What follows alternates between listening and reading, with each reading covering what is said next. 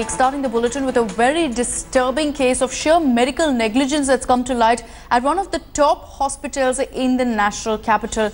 Now, uh, Ravi Rai was operated upon by doctors in the Shalimar Bagh located Fortis Hospital yesterday afternoon.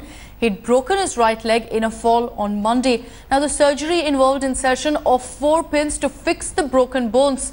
It was only after the procedure was complete that his wrong leg had been operated upon. Worse, in fact, his frantic calls to the doctor went completely unanswered. It was only after half an hour that the doctor finally appeared. The shocked family alleges the hospital offered to take out the pins and then insert them in the other leg, but the kin have now said no, filing an FIR against the hospital. They even had to wait for hours before uh, Rai was released by the hospital. Now, Fortis has issued a statement. They've said that patient safety is important and it will take appropriate action in this particular case. Let's go across to Anusha Soni joining us on the phone lines with more details. Yet another shocking case of medical negligence coming to light there, Anusha. We have a statement that's come to light from Fortis, but really for the benefit of our viewers, if you could take us through what really happened and what the doctors have to say about this.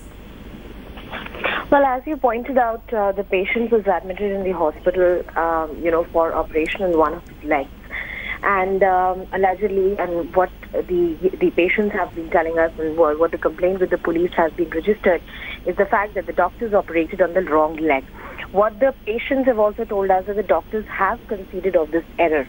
However, uh, there are many points here which have been troublesome. First is the fact that this is not any ordinary hospital. Mm. This is one of the leading hospitals in the country, the Fortis, uh, you know, chain of hospitals which has done this medical negligence. Even after that me uh, medical negligence, there was delay on their part to concede to their mistake.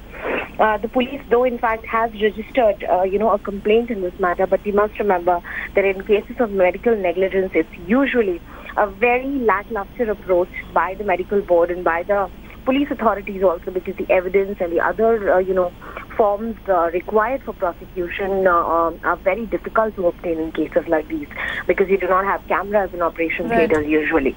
So let's see how this pans out. However, uh, you know, a very disturbing case and the police has launched an FIR. Uh, let's see whether Fortis concedes to its mistakes and tries to correct it through some compensation. And Anusha, as you pointed out, you know, we're talking about a top Delhi hospital here, Fortis Hospital, where so many lakhs of patients go every single day. And in this particular case, we understand the doctor claimed that he was confused and you really wonder because he went in for a surgery for a broken leg and then went ahead and inserted pins in the wrong leg. You really wonder about these doctors' qualification and the kind of experience they have.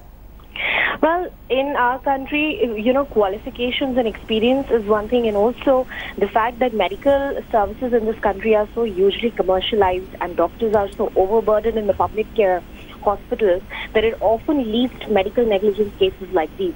The sheer lack of the number of doctors and the sheer lack uh, you know, of any kind of facilities in the public hospitals has forced common people like you and me to go to private hospitals for their treatment. But at the same time, even after spending so much money, there is little watch and monitoring of the sort Absolutely. and the quality of treatment we receive. Absolutely. Anusha, thanks for joining us with those details.